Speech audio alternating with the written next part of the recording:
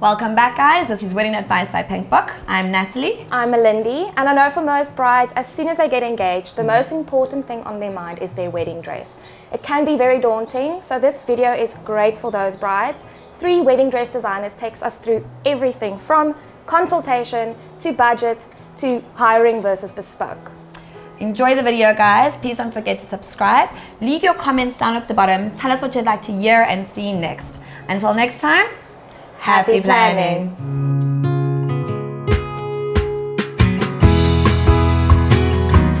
When a bride gets engaged, it's very exciting and it can become very overwhelming booking a lot of designers and it can be a costly affair. Brides tend to search on websites and Facebook pages and Instagram. You will get a good idea of what type of gown reflects your personality, but it's always good to book a couple of consultations as soon as possible. There is certain times of the year that is quite busy. September and March is a saturated month when it comes to bridal gowns. So, in order for the designer to have enough time to finish your dress and have enough time for fittings, you need to book your dress at least eight months in advance. Once we've looked at a bride's Pinterest and mood board, I can get a feel of what the bride likes. Uh, a bride will show me a couple of pictures, different styles of gowns, but they, they will all say one thing. It will say classic, boho chic, elegant, edgy, weird, different. And that enables me to take gowns out of the workshop or the studio and style them in those specific gowns. We do have brides that doesn't know anything or they don't know what they want or they don't know what suits them. But I ask the right questions to find out what are they all about.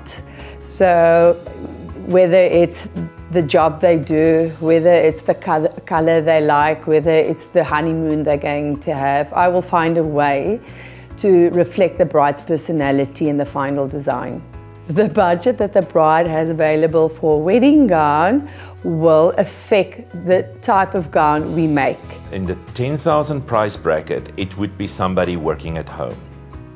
They can afford that. They've got no overhead, so it's possible. So it's either a young new designer that comes out and she wants to start a business. If the client is lucky, she will get somebody that really, really are into construction and loves the job, what she's doing, and she will then put her heart and her soul in this dress, and that will always show.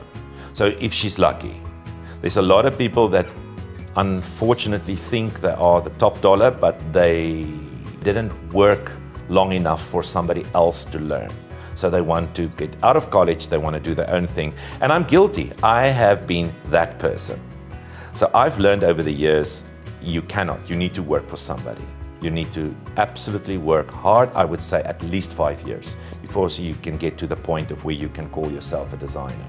Going on to a 20,000 average dress, this is definitely, now you're in the boutique market. So for a 20,000 dress, you can have a designer dress from a designer and you will get a dress in a boutique. 30,000 is still boutique and designers combined. I would say you can have designers making dress for 30,000. If you go up, it starts going more. Then it's more towards the 70% designer bracket, 30% boutique. You can go up to 60,000 rand in boutiques, but that's very selective boutiques and um, and then it then it becomes designer gowns.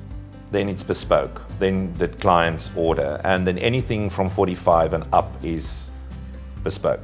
Bespoke is when a client comes in and she wants a dress made completely. Nothing like that exists.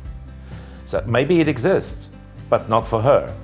So she will like this sleeve this top this skirt this lace I mean, there is a hundred styles that belong out there, and it's already been done.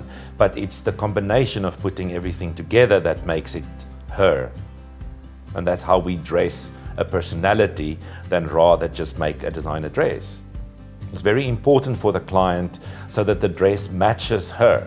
I mean, my favorite saying is the compliment should not go to the dress, the compliment should go to the bride. I would advise that you consider renting a dress when your budget does not allow for you to have a dress made When you rent a dress, you need to um, maybe lower expectations of what is available, um, not only in style but in size, most probably. Um, if you can't find anything that you see in the shops that you love, then having a dress made might be the better option. But it is one of those things where you have to weigh up the pros and cons. Do, is budget more important or is it more important that you get what you are 100% happy with? Can you cut on flowers and stationery and you're willing to spend more money on the dress? Or would you rather spend more on food and drinks and um, you know lawn games to have your guests entertained and um, pay less for your dress? When you look at hiring a dress um, you might look at a third or a quarter of the cost of having a dress made.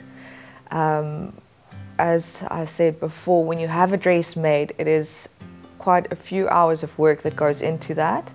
Um, where with hiring a dress, it's something that's already made. There might be uh, minor adjustments that need to be made, but yeah, the, the, the cost will be much, much less.